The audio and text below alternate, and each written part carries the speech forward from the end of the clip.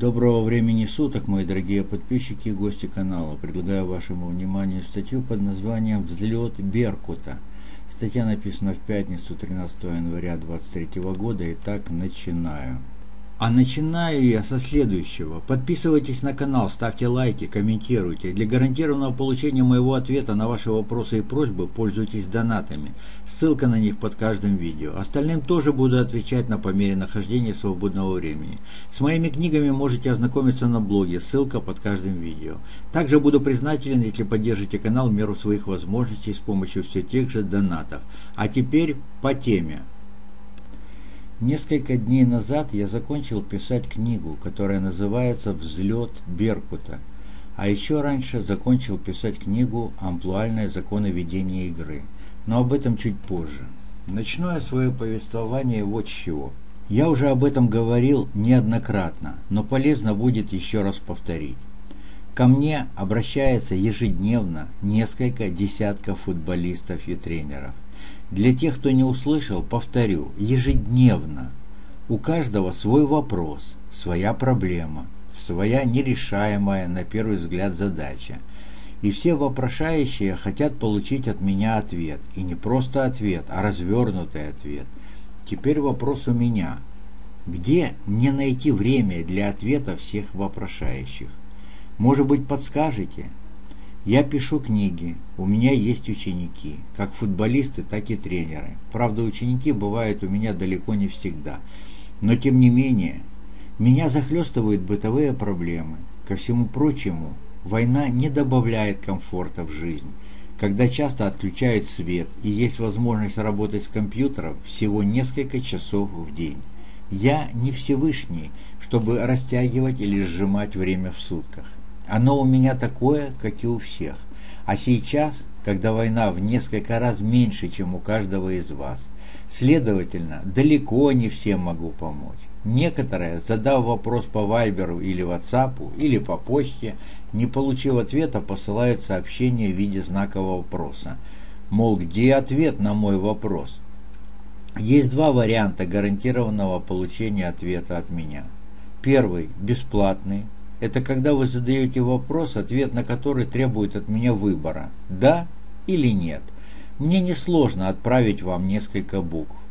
Но если вопрос, скажем, такого рода, расскажите, какие финты применять на скорости, а какие на нулевой скорости, или подскажите, как научить ребят видеть поле, или проанализируйте распорядок моего дня – то, ребята, знайте, что я даже париться не буду в поисках ответа. У меня нет такого времени, чтобы вам ответить.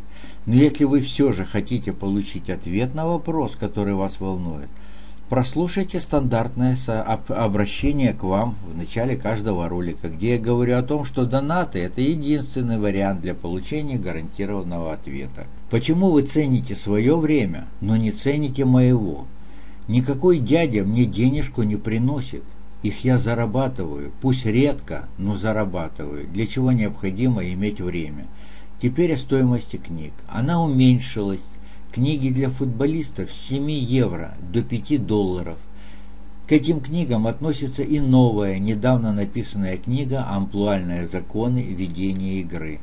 Пакет упражнений подешевел значительно, теперь он не стоит 50, а только 20 долларов. Несколько слов о книге «Амплуальные законы ведения игры». В этой книге вы узнаете, как действовать на футбольном поле не только вингеру или фланговому нападающему, но и всем остальным футбольным амплуа. Вратарю, центральному защитнику, фланговому защитнику или вингбеку, центральному полузащитнику или спайдеру, центральному нападающему. Эта книга полезна прежде всего для футбольных тренеров, но и футболистам она будет очень интересна. Эта книга тоже стоит 5 долларов. Главная книга всей моей деятельности в футболе, которая поможет любому тренеру смотреть на Тухеля, Клопа, Гвардиолу, Мауриньо, Манчини, Канте и других сверху вниз, как имела высокую цену, такое и осталось. Это дело принципа. Чуть не забыл сказать о следующем. Где-то год назад я выкладывал вам ссылку на приложение андроида, где можно было бы заполучить на экране два разных цвета, которые через определенное время менялись. Сейчас этого приложения уже нет. Но автор приложения, Антон из Германии, усовершенствовал его, где уже есть четыре цвета и другие улучшения. Ссылку на это приложение андроида я разместил под роликом. Для тех, кто не в курсе, скажу, что такое приложение позволяет развивать способность принимать решения до приема мяча. Также развивает периферийное зрение. Рекомендую. Книга «Принципы в футболе» Это вешки, расставленные по краям дороги на вашем пути к успеху. Благодаря содержанию этой книги с пути вы точно не собьетесь, уважаемые футболисты и тренеры. Эта книга, так же как и другие, стоит 5 долларов. И еще, книги, которые я написал ранее, как-то мною забылись, но уверен, что для молодых тренеров они будут интересны и полезны. Посмотрите на экран. Вот эти книги. Каждая из этих книг стоит всего 2 доллара, кроме двухтомника «Футбольный мастер», два тома которого стоят по одному доллару. А теперь вернусь к главной теме – содержанию книги «Взлет Беркута». Беркут – это название футбольного клуба и его главной команды. Весь мой канал его многие сотни роликов – это не что иное, как обоснование реальности создания мастер-команды. Команды, с которой ни у кого не возникнет желания сыграть, даже у сборной мира. Но сколько бы я ни говорил, сколько бы ни убеждал, насколько бы я ни был логичным и здравомыслящим, все равно мои убеждения не доходят до подавляющего большинства по очень простой причине – все, как обезьянки, смотрят на мировую футбольную элиту, у которой ничего подобного не получается. А если так, то почему у этого чудака может получиться, если у таких зубров, таких гуру, как Маурини и Гвардиола, ничего не получается? Ведь их успехи эпизодичны, о чем все знают. Никому не нужна логика, всем нужен пример. Нет примера – нет ничего. Когда я это понял, то пришла в голову простая мысль – материализовать такую команду и технологии ее создания литературно, сделать так, чтобы такую команду, ее успехи, путь к ее триумфу можно было бы пощупать своими руками, пропустить через свое сознание. В книге рассказывается о войне с Федерацией, о службе безопасности команды, которой тоже доставалось. Ведь эта война – это смертный бой, так как тот, кто проиграет, бесславно уходит в аналы истории. Это война старого закостенелого и нового реформаторского. Насколько мне это удалось, судить не мне, а вам. Книге 214 страниц чистого текста, плюс разные фотки на футбольную тему, которые добавили к объему книги еще около 40 страниц.